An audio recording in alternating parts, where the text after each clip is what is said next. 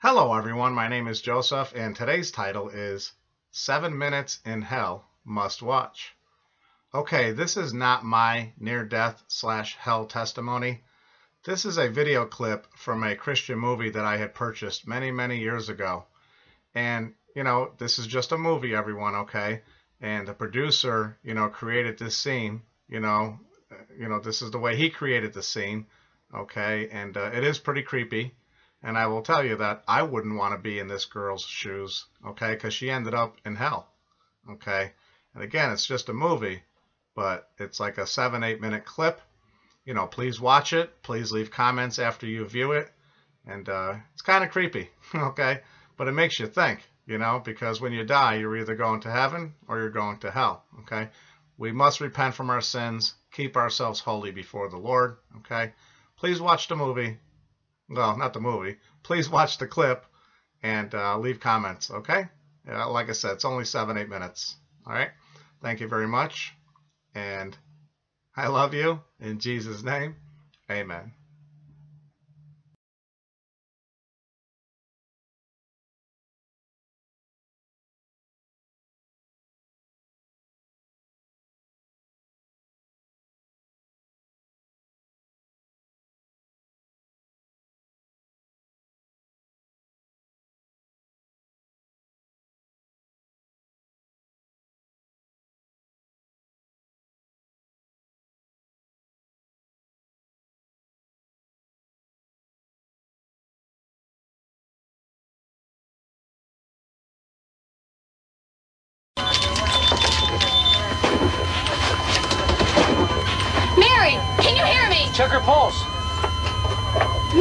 Charging at 200.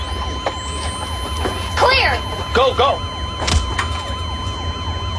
Go again. Charging at 300. Clear. We got her. She's back. Oh my God. You're not gonna die. Yes, I love. We're not gonna let that happen. Watch that monitor. Oh,